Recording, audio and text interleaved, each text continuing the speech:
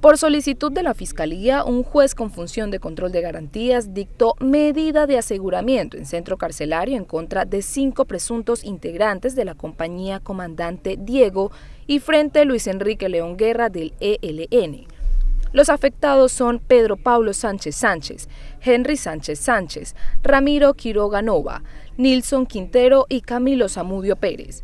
Las capturas se realizaron en medio de la operación Ares, realizada por el ente acusador, la policía y el ejército en los municipios de El Tarra y Acarí.